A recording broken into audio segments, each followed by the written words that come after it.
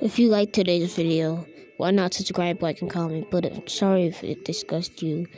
But anyways, thank you so much for watching. I hope you enjoyed. And see you later, and I hope you like my new OC.